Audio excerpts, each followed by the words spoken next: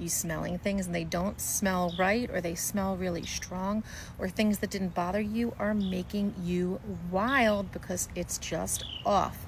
Now, is there something that you did wrong or is this happening because it's something that's common with midlife? Perimenopause, and menopause. Hi, I am your local OBGYN. I love women.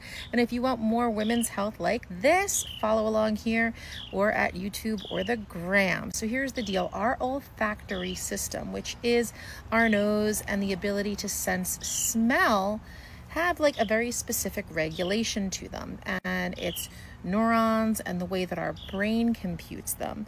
But like everything else, when we hit midlife, we know that hormones affect a lot of these things.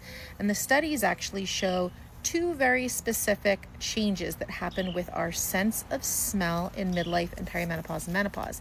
So we will see that we have a harder time sort of discriminating senses, meaning telling them apart when we get older, specifically more related to that hormonal change and not just age.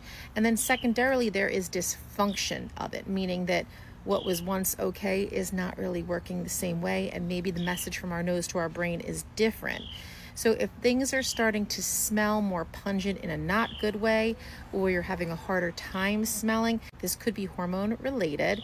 In addition, they have found that utilizing hormone replacement therapy what do you think? Of course, it's of benefit, and the studies show it.